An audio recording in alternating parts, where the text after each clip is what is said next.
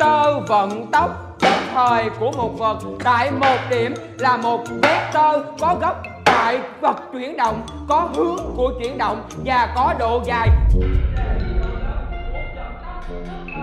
Tình yêu trong lành nhất thế gian nở cánh hoa mềm giữa tuyết lan.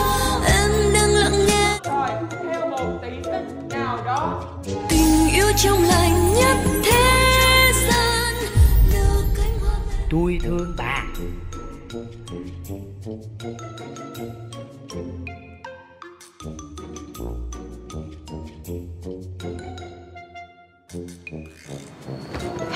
Gì?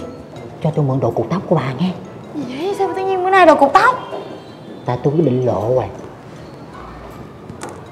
Cố lên nha, chúc thành công muốn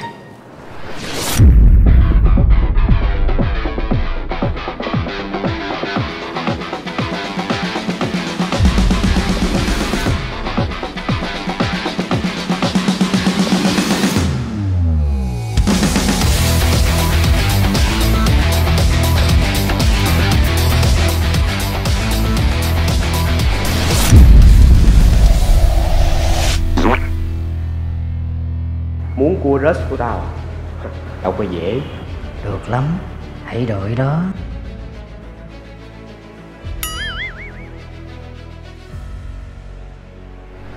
Từ đây qua đó là dài 4 mét, chiều cao căn phòng là 4 mét, suy ra đây là hình vuông. Giáo viên mỗi lần quay xuống giảng bài tầm 15 giây. Quan trọng nha quay lên viết bản tầm 6 chữ, vị chi là 10 giây. Áp dụng định lý Pythagore để suy ra hướng bắn từ góc bắn cần bắn áp dụng định lý Newton để ước lượng sức bắn của bản thân mình. Thằng quỷ trước mặt tạo ra gió với vận tốc 60 m trên giây.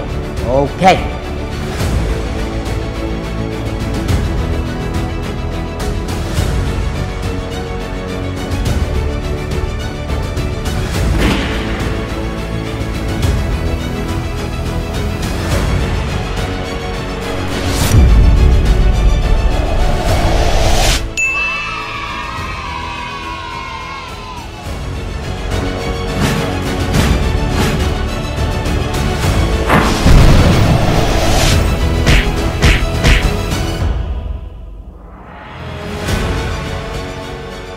Tập trung. Đâu phải chỉ có các em mới biết kéo, thả bắn. Kéo lực thả tay, bắn bay dương phấn.